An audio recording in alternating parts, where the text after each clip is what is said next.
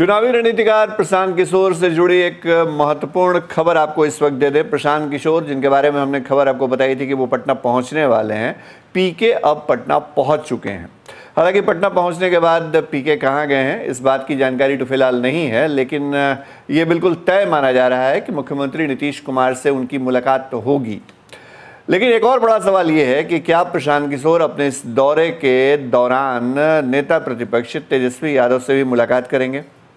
तेजस्वी यादव और प्रशांत किशोर के बीच दूसरे राज्यों के कई नेताओं ने कहीं ना कहीं कनेक्टिविटी बनाने का काम किया था। ये चर्चा पहले आ चुकी है या ये सोर्सेज के हवाले से खबर आई है। लेकिन प्रशांत किशोर और पीके की मुलाकात हाल के वक्त में नहीं हुई है। हाँ ये ज़रूर कहा जाता है कि प्रशांत किशोर लालू यादव के टच में रहे हैं। अब इसकी भी आधिकारिक पुष्टि नहीं है, क्योंकि पीके इस बात को लेकर के अब तक मुखर नहीं रहे हैं। हालाँकि कांग्रेस पार्टी के आलाकमान, कांग्रेस के नेताओं से उनकी बैठकें 2024 को लेकर करके रणनीति, इन तमाम मसलों पे वो चर्चा करते रहे नीतीश कुमार से उनके संबंध जो हैं वो जगजाहिर हैं। उनसे मुलाकात की खबरों की पुष्टि खुद नीतीश कुमार ने की है। लेकिन क्या अपने इस पटना दौरे के दौरान प्रशांत किशोर, तेजस्वी यादव से मिलने वाले हैं? ये एक महत्वपूर्ण सवाल है।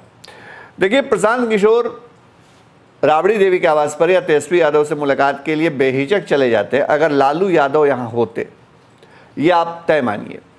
और प्रशांत किशोर, इसके पहले भी कई बार लालू यादव के संपर्क में रहे हैं। और आप याद करिए, लालू यादव से जब पी के बात कर रहे थे, डायलॉग कर रहे थे एक दौर में तो कैसे लालू यादव के परिवार के ही लोगों ने एक बोर्ड बाहर कर दिया था, लगा दिया था, जिसमें लिखा था, चाचा नो एंट्री।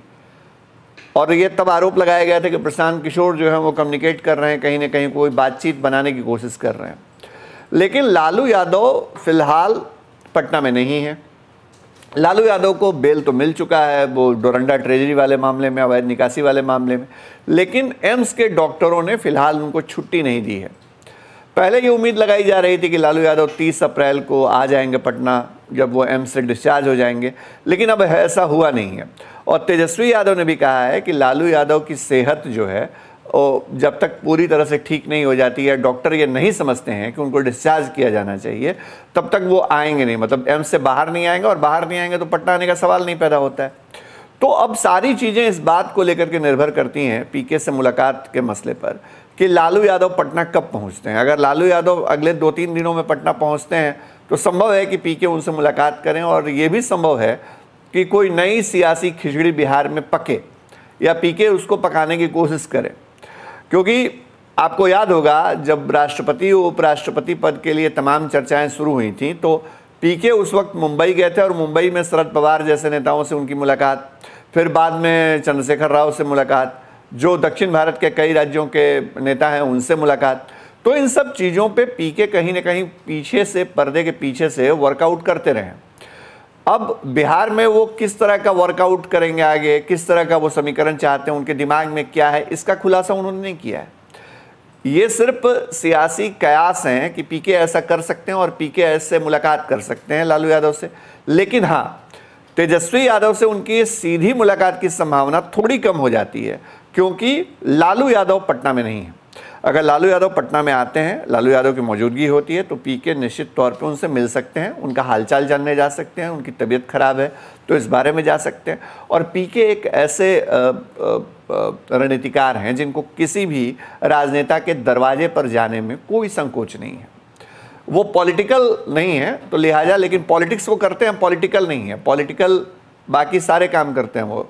रणनीतिकार के तौर पे, चुनावी रणनीतिकार के तौर पे, राजनीतिक सलाहकार के तौर पे।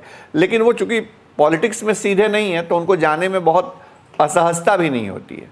तो इंतज़ार करिए कि अगर लालू यादव पटना आ जाते हैं तो प्रशांत किशोर वहाँ भी कोई गुल खिलाने जा सकते हैं।